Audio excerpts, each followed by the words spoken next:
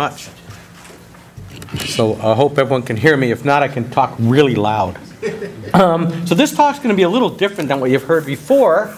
Um, I'm going to present some good news and some bad news. So I'm going to start off with some bad news, and that has to do with the persistence of these bacteria in the environment.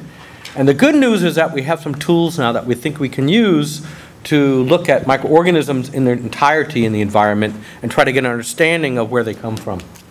So, um, of course, these bacteria represent the most exceeded water quality standard we have. We've heard this morning about enterococci and E. coli.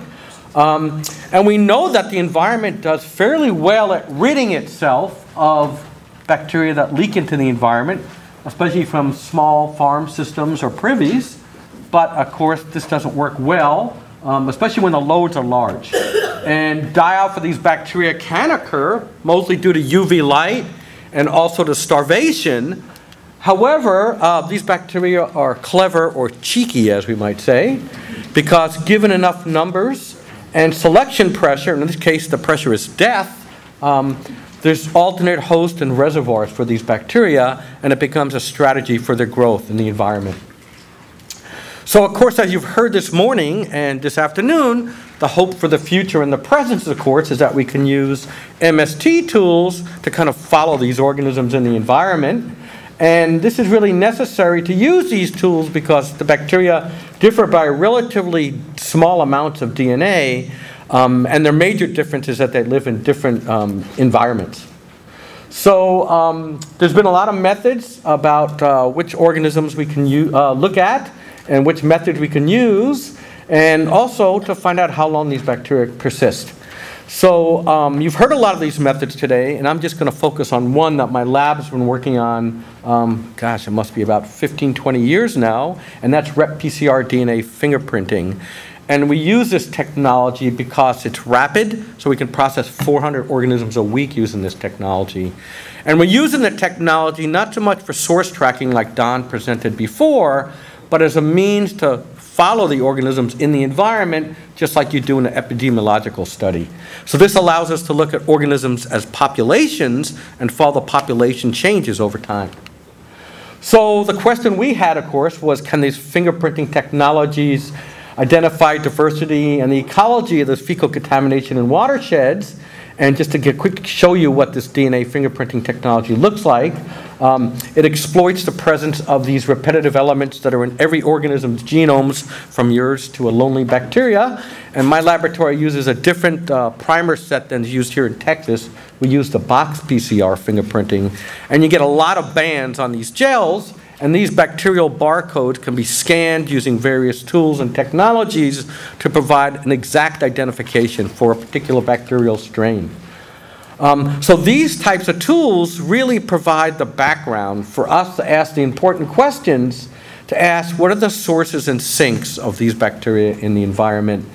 And to understand that, we really understand, need to understand their ecology. So this gets back to basics of microbial ecology. So we know now that despite what you've learned in microbiology classes, there are many sources and sinks of fecal bacteria in the environment, and E. coli is not limited to the intestinal tract of warm-blooded animals. That's the bad news, okay? Now, these studies really came out of initial work that was done by Roger Fujioka and his colleagues, uh, Murali Byappanahalli and others at the University of Hawaii, who were in fact trying to find a site that they can use as a control that had no E. coli in it. And they could not find one. Including digging up the lawn on the front of the campus, they found E. coli in the soil. They also followed up those studies in Guam and Puerto Rico, and there's been some further follow ups in, in Florida. And we just asked the question can you also find E. coli in soils in temperate climates and really nasty temperate climates like those we have up in Minnesota? Right? So we started to do our studies on this beautiful lake. This is Lake Superior, which is two hours and 15 minutes from our campus. And this is the Duluth Superior Harbor right here. And our sites are scattered around uh, the Lake Superior Harbor, adjacent to some streams and rivers that bring water into the lake. And we simply ask the question can these organisms be found in these soils? Now, for those who have worked on soils before, it's great when you do them in summer, but if you have to study soils in winter, it makes a whole new problem. and we found the best tool for sampling soils in winter is a chainsaw. Okay? Right? So essentially, you take a chainsaw and you can dig out big hunks of soil and bring it back to the lab and thaw it and then look for microbes in those environments. So we've done that over several different years, and we find that the numbers of E. coli present in soils drop over the season down to anywhere from three to five microbes per gram of soil. And when the soil heats up in the summer, those organisms and populations increases in size to 10 to the 2 to 10 to the 3 per gram of soil. Now, our main interest is what are these soil E. coli, and are they different from those that might be coming from animals? And like those here, we have a library, and we've created DNA fingerprint libraries from organisms surrounding Lake Superior. And those organisms mostly include deer, geese, and gulls and terns. And the soil E. coli are genotypically different than those that we find in these other animals. The good news is, despite the fact that these organisms are in the soil, they only represent approximately 19% of that we find in the waterways. So we have DNA probes, and we can actually follow these organisms off the soil during rainfall events, making their way into the waterway. The other interesting part of the study is that some of the organisms we find repeatedly at the same site are genetically identical. These organisms grow, die, survive, and regrow over and over again over multiple years. And since we're not sure where these organisms came from, we call these naturalized E. coli rather than indigenous to these soils. So now the question I'm sure you're all asking is, where do these E. coli come from? And I'm sorry to say I have no answer for that. It's a chicken and egg question. But just remember that E. coli was on this planet many hundreds of millions of years before we came around. Okay? And it will likely be here hundreds of millions of years after we're gone. So where this organism came from, I don't know. It could have been deposited by a warm-blooded animal or even a cold-blooded animal and survived and reproduced in the soil. Or it could have been in the soil to begin with and then later maybe can become adapted to a mammal. I just have no answer for that right now. In addition to soils, we're also interested in sand and sediments, and these are some collaborations I've done with Winfred Soule and Randall Hicks at the University of Minnesota Duluth. And we were working at a site called the Duluth Boat Club. Don't get excited. Wait till I show you what this boat club looks like. Okay? So, um, so this is an interesting story. So this is WLSSD. This is the Western Lake Superior Sanitary District. There's two sewage treatment facilities in Lake Superior Harbor, one from the city of Duluth and one from the sister city of Superior, Wisconsin. Okay? Everyone blames the contamination on this beach to sewage outflow coming from WLSSD, and actually the water does migrate back up this way, and we wanted to see what the source of E. coli were on these beaches. So um, here's a better picture showing you the location of WLSSD, the Duluth Boat Club, and ISL is called for Interstate um, Island, and this interstate island is a rookery for terns and gulls, okay? Millions and millions of them. Okay? So we went ahead and bisected this beach into various different areas and determined what organisms were present. And depending on what time of the year, it's due to wildlife, birds, and wastewater. Okay? So it's not just the sewage treatment facility's fault, but there's other input sources of E. coli present. So where have all these bacteria coming from? Well, they come from these guys, and you don't need a lot of sophisticated technology. You can use these right here and you can see where some of these organisms are coming from. So they come from Canadian geese, they come from birds, terns and gulls, they come from pets, and the most dangerous creature of all, this little baby. Which, well, people bring their babies into the water, and they pull out this 300-pound baby with a soaking wet diaper, and then they wonder where the bacteria come from. Okay. So we also follow over time these organisms, and we could find Canadian geese, mallard duck, ring-billed gulls, and wastewater actually contributing a relatively small portion to the total loading. Right? So those are two sources now, soil and sand. We're also interested in looking at other sources for E. coli, and we focus attention on this organism here, which is a macrophytic alga called Cladophora. And for those of you who have ever spent the summer on Lake Michigan or any other Great Lakes except Lake Superior, you will find the shore covered with this stuff. Okay?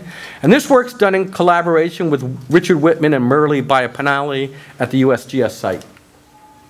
So we do most of our work at the southern tip of Lake Michigan, and this is a really nasty spot, okay?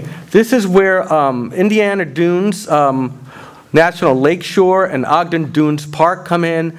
This is the Little Calumet River that runs from Indiana this way. This is a really nasty spot.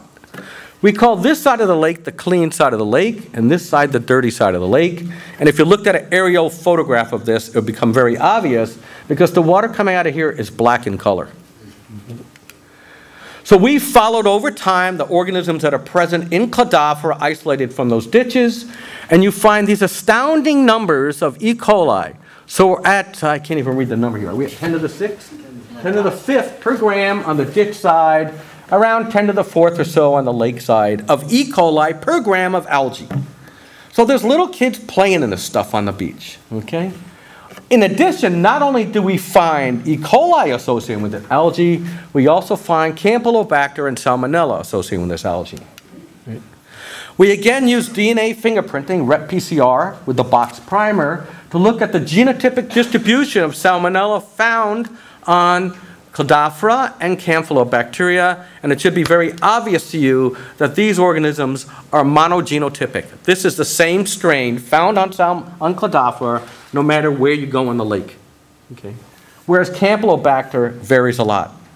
So we followed actually the growth of salmonella in Lake Michigan over time, and interestingly, every year the population changes of salmonella. And the reason why this is monogenotypic is because this organism survived best during that summer season, where other types follow best other parts of the year. And by the way, this is the Newport variety of salmonella. It's pretty nasty. Okay? Again, little kids are playing in this stuff. All right. Are there other sources of E. coli in the environment that we do not know about? Well, everyone says E. coli is present in the intestinal tract of warm-blooded animals. How about cold-blooded animals? So this was great. We had a graduate student whose main hobby was to fish. So we handed him a fishing rod, a fishing license, and some worms and said, go catch some fish. So he went out and caught some fish, and he caught bullheads, and he caught um, catfish. And we essentially looked at fish that were located in the upper parts of the water column, those in the middle of the water column, and those bottom feeders. And what we find is E. coli populations in all those fish, and of course the most were found in the bottom feeders that are eating on detritus where E. coli is growing. So yes, there are E. coli in fish, but we look at them as more as a transport medium, dropping E. coli at different spots throughout the lake as they move around and defecate. That was a very polite word. Okay. All right. So we've also looked at the population structure of E. coli and many other spots, and our state is particularly interested in their survival in creeks and streams. Again, getting back to what Don says, we have to try to correlate the survivability of these organisms to other marker systems. So we've been looking at this place called Seven Mile Creek in southern Minnesota. It's essentially a man-made ditch, or I guess that's not politically correct, a person-made ditch, all right, where all these tile drains feed into it, and then the question is, there's E. coli always present in this ditch? Where are those E. coli coming from? Do they grow in the ditch? Do they grow in the sediment? And so forth. So we've looked at this, oh, sorry. It's uh, mostly agricultural sites, and we start up here, SM4, SM3, SM2, and SM1. The um, Minnesota rivers down here, hydraulically, water moves in this direction, okay? So I'm not going to show you all the results of this study, but um, we had 100, 606 different E. coli strains were detected, and 356 of these strains were represented by a single isolate. So there was input of E. coli coming into this river, into this creek. The remaining isolates, however, 250 of them, had between 2 and 112 representatives. So the most likely is growth of these organisms present in this particular waterway. The interesting part of this, again, was we found some isolates that were the same genotypically, so they were most likely growing, and these were clonal isolates.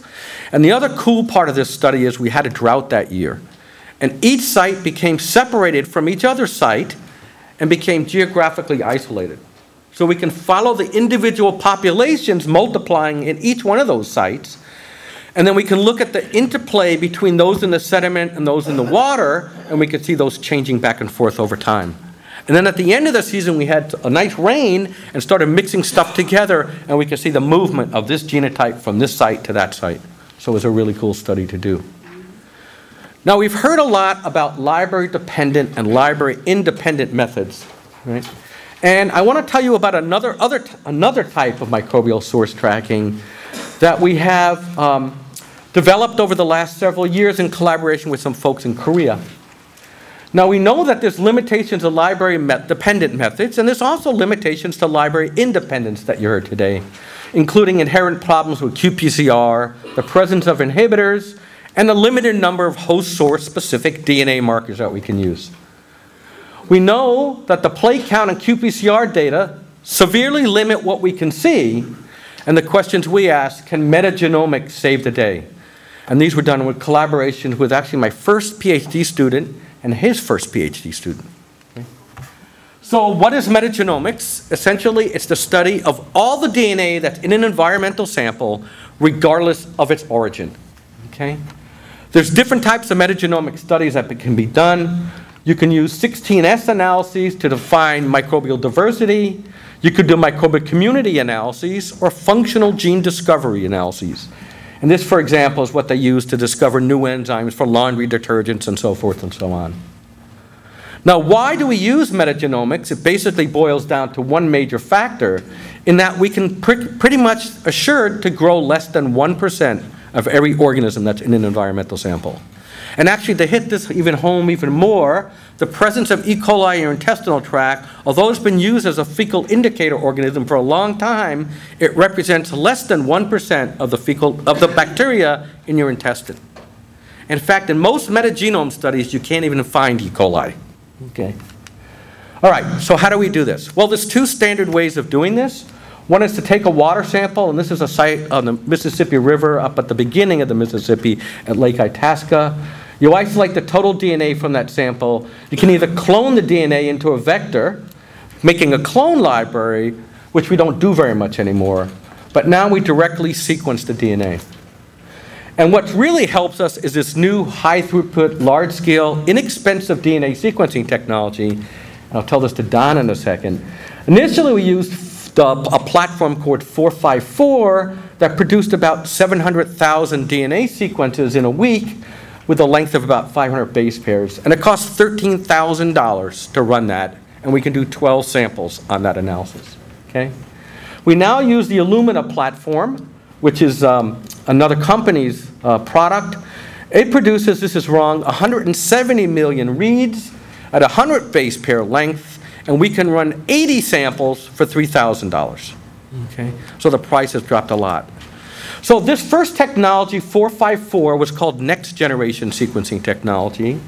The Illumina platform that does 170 million sequences is called next next generation technology. Right?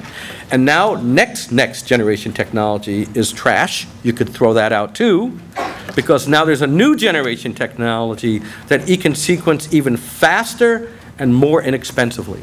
Right? These sequence analyses take about a week to do, we have a new machine now that will do a sequencing in a day and give 5 million sequences for $1,000. Okay? So we can do 24 samples for $1,000 on these machines and get the data back in one day. So why is it useful? Well, what we're focusing on in my lab, on this tree of life, is really the bacteria, which represent this very large group of organisms that most of us are studying. And the methods we use is quite simple. We extract fecal DNA from a large number of animal hosts. And typically, what we do is we'll get 10 chickens, 10 cows, 10 geese, or 20 cows, 20 geese, what have you, and pool all that poop together in one tube. We homogenize it really well, then extract the DNA sample, and then we sequence all that DNA. Then we go into the environment and collect a water sample, either very large quantities like 40 liters or very small quantities like one liter, isolate the DNA from those samples, and then see whether there's a match between these DNA sequences that are present. So this library-dependent method is a lot different than we're used to using because instead of looking at 200 or 1,000 organisms in our library, we're now looking at tens or hundreds of thousands of organisms in a library and asking whether we can match those up together. So the flow of the sample is simple. You take the sample, you extract the DNA, we amplify the 16S ribosomal DNA using straight PCR, and then we sequence the PCR products. And we produce hundreds of millions of DNA sequences. And then the overall goal sounds easy. You just match the sequences in the data set to those in the environmental sample. But that can be done in one or two ways. In one way, we can look at shared taxonomic units, for example, genre or family of microorganisms. The other way is to forget about what the organism is called, just look at its DNA sequence. That's called an OTU, or operational taxonomic unit. I don't care what you call this thing, it's just here in this sample, and it's here in this waterway, so they're related. Okay? So essentially, these shared OTUs are just DNA sequences that align together over time. And then you can do these network diagrams that show you where the shared OTUs are between water samples or your DNA samples that came from animals. So we've published a couple of papers on this. Uh, one is in Environmental Science and Technology in 2010 on using barcoded DNA sequences to determine sources of fecal bacteria. Now, barcoding is an awesome technology. Barcoding allows you to pool all your samples together in one tube, sequence them all, and then sort them out later. A barcode is simply six nucleotides. Right? And we have approximately 100 variations on those six nucleotides that we can attach to each DNA sample from each watershed or animal source. We could pull them all together, get the sequence back, and then let bioinformatics separate out all these barcodes into different bins so we know which sample came from what. And that way we can sequence 80 organisms or 80 samples at the same time. Okay. So using this technology, we were able to look at watersheds to see what the dominant contributors are or is to the fecal contamination. And we looked at urban areas, and in urban areas, we see a large domination of human markers. In open areas between urban and agricultural, we find a lot of wildlife, such as geese. Or, um, and then in agricultural areas, we saw a big dominance by pigs. Okay. So the big issue in this technology is not whether you can do it and how much money you have, but do you have a way to analyze the data? So every time a data set comes back to my lab, it's 170 million DNA sequences. You cannot just look at spreadsheets or Excel and figure out what's going on, okay? We're fortunate at our university have the Minnesota Supercomputing Institute that allows us to upload a lot of our data to those databases to look at them. And the other thing you need to have is a platform that allow you to upload 100 million sequences at one time and not do blast search at one at a time right? Your grad students would die before they finish this, okay? so biotechnology really helps us here. So to help people use this technology, we've developed a web-based platform where you can simply go ahead, isolate a DNA from a water sample, and upload it to our database. This automated microbial source tracking system that is online in Korea and online here at the University of Minnesota. We are expanding our database to ask the big $650 million question of regionality of DNA fingerprints, and we're asking people in this room and elsewhere to donate DNA to us or donate poop to us from their animal sources so we can combine those together into one master large US database. Okay? So if you have any extra poop at home, please send it to us. Okay? All right. So this next generation fecal taxonomic libraries we're calling FTLs, and they contain all the taxonomic unit and OTUs and pooled fecal samples for known animal sources. And this not only gives you information about a single organism, but it gives you the information about all the organisms that are present in the sample, including pathogens and commensal and fecal bacteria and everything else that's present. So rather than getting a small snapshot of Bacteroides or Enterococcus or E. coli, you can get a very large view of all the organisms that are in that environment or in that animal. So we're currently doing this project on a large scale, and we had funding from the state of Minnesota um, to look at the metagenomics of the Mississippi River. So the Mississippi River starts up here at Lake Itasca in northern, uh, western Minnesota, and then travels down through the Twin Cities, and we've taken samples twice a year at multiple depths, and, at- and at some sites, multiple times a year, to look what's making up the constituents of the Mississippi River. And it's very interesting to follow the influence of the confluencies of other rivers and up and downstream from sewage treatment plants to see how that impacts the water microbiology of the Mississippi. So these pyrosequencing runs that we're doing really allows you to look at 200 samples per Illumina run, and therefore it costs about $25 a sample. So it's fairly inexpensive technology, and the price is dropping as we talk now. And DNA sequencing technology is following Moore's law, the same way that computers have followed over the years, and the price keeps dropping and dropping and dropping. And what's kind of not good is if you're buying this equipment, it becomes obsolete the day you purchase it, okay? And then the price dropped tremendously and you can't even give the stuff away. But the good thing about it is the new machines, just like your new computers now cost $300, are dropping in price a lot too. And there's going to be a desktop model they predict out next year that costs $45,000, where you put your own sample in it, hit a button, walk away, and that's it. And it will sequence everything in that sample for you. Right? So um, let me just finish up now. So um, I'm running out of time, but I'd like to say um, that if you'd like to find more information about how we do E. coli rep DNA fingerprinting, I'd like to point you to our website. Um, There's a lot of information on how to process a lot of samples rapidly. There's project overviews, there's methods, and there's links. And for those of you who are really sick and want some good bedtime reading, you can pick up this book that we published last year by ASM Press called The Fecal Bacteria. And there's so many people to acknowledge in here, um, both students, postdocs, uh, professors, and a lot of funding sources. And without their uh, generous contributions, I couldn't be up here talking. So with that, I'd like to thank you, and I'm happy to answer any questions you might have. Excellent.